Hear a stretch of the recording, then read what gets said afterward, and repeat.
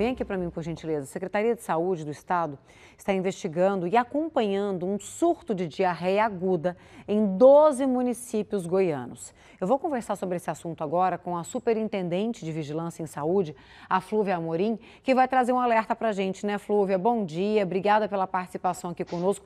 A gente sabe que nesse período do ano, por causa do tempo que já não colabora, e aí tem volta às aulas, tem muita virose circulando, mas realmente está meio assustador esse cenário, né, Flúvia? Bom dia, Manuela. Bom dia a todos. Manuela, geralmente, nessa agosto e setembro são meses que a gente já espera aumento de doenças, do de doenças diarreicas aqui no estado, né, devido à temperatura. O que a gente está observando esse ano é que em alguns municípios essa, esse aumento ele foi antecipado. Né? A gente teve, já está com mais de 11 municípios com surto, né? ou seja, um aumento expressivo no número de casos, além do esperado. Em relação a doenças diarreicas, são várias as causas e a gente está investigando quais são as possíveis causas desse aumento para a gente poder entrar com medidas de controle. Pode ser daquela virose comum, Flúvio, porque normalmente virose comum dá isso, né? Da vômito, da diarreia, ou pode ser algum outro, algum outro fator diferente?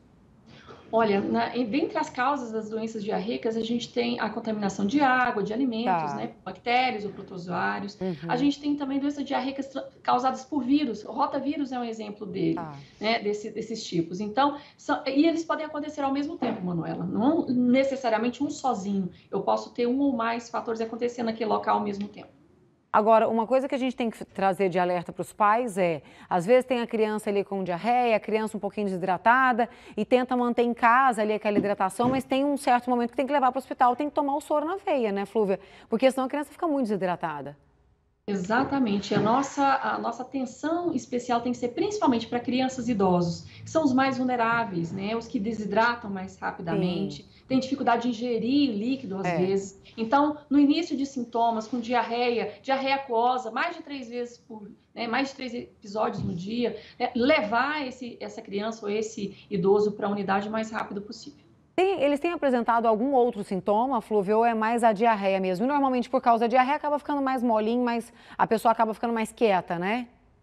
Olha, dos casos que a gente tem acompanhado, né, dos surtos, inclusive, é, diarreia é o principal sintoma, mas também acompanhado de náuseas, vômito, febre, dor de cabeça e dor abdominal. São os sintomas mais comuns que a gente tem observado nos casos aqui em Goiás. Nós temos a informação de que em algumas cidades do interior do estado, alguns postos de água foram fechados, porque há suspeita de alguma bactéria, de alguma contaminação. Vocês já têm alguma atualização em relação a isso?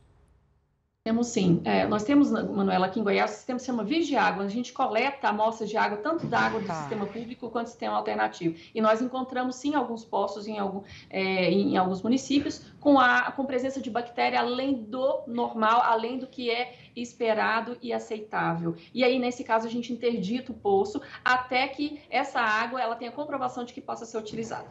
Tá, então vamos lá, Flúvio, é o seguinte, na, na, na, numa dúvida como essa, né, num cenário como esse, tá na dúvida, não sei se aquela água tá, tá é, boa para ser ingerida, né, na condição ideal. Para quem tem a condição, qual que é a orientação? Comprar a garrafinha de água? Para quem não tem, ferver a água antes de tomar?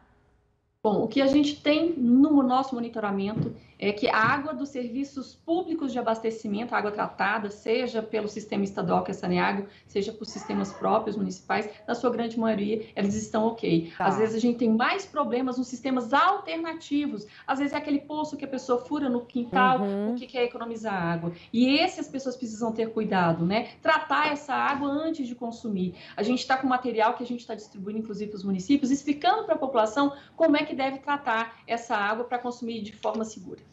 É, e aliás, até porque existe muito uma cultura, né, Flúvia? Eu conheço muitas pessoas que têm o poço em casa, cisterna em casa, e falam, não, é direto do poço, pode tomar da torneira, não precisa nem ser do, da água filtrada. E aí, talvez por isso, esse risco maior, então, né? Flúvia, obrigada pela participação aqui com a gente, pelo alerta também. Você sabe me dizer se nas escolas também está havendo isso? É, é, até porque tem, tem que ter uma preocupação. A criança apresentou um sintoma, não pode mandar para a escola, né?